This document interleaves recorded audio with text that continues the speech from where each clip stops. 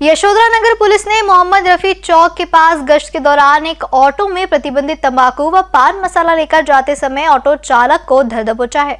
Auto चालक मिथिलेश शंकर लाल बाथो हंसापुरी खदान निवासी है। ऑटो चालक ने पुलिस को बताया कि यह माल आदित्य गौर हंसापुरी निवासी का है।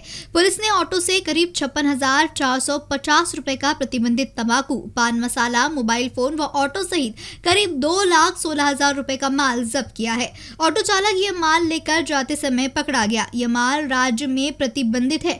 फरार आरोपी आदित्य गौर की तलाश पुलिस कर रही है। यशोधरा नगर थाने के डीबी प्रमुख हवलदार श्याम कड़ू की शिकायत पर यशोधरा नगर थाने में मामला दर्ज किया है।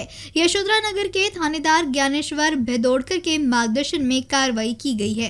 काल दिनांक सात जून रोजी आमचे डी बी पथकाचे अंमलदार परिसरामध्ये पेट्रोलिंग करत एक संशयास्पद गाडी मोहम्मद रफी चौकाजवळ मिळाली. त्या गाडीला थांबवून त्याची पाहणी केली असता त्याच्यामध्ये चार बोनी गोण्या भरलेला प्रतिबंधित गुटखा आढळला वेगवेगळ्या ब्रँडचा. साधारणतः किंमत त्याची छप्पन हजार चारशे पन्नास रुपयाचा गुटखा आहे. याच्यातील आरोपी जो आहे तो मिथिलेश बाथू म्हणून आहे. राहणारा हंसापुरी खदान येथील आहे.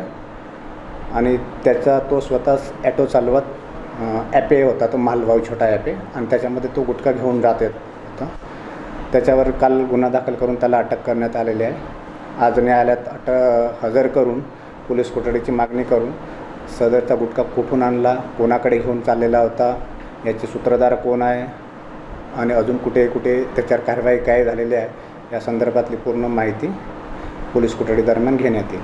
प्राथमिक माहिती अशी मिळालेली आहे आरोपीकडून का आदित्य गौर नावाची व्यक्तीचा तो माल आहे ही माहिती मिळालेली आहे. आदित्य गौरचा शोध सुरू आहे आपल्याकडून.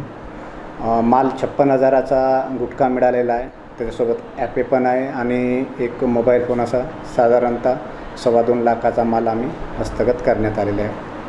इन न्यूज के लिए अखिलेश भारद्वाज के साथ अभिषेक पानसी की रिपोर्ट.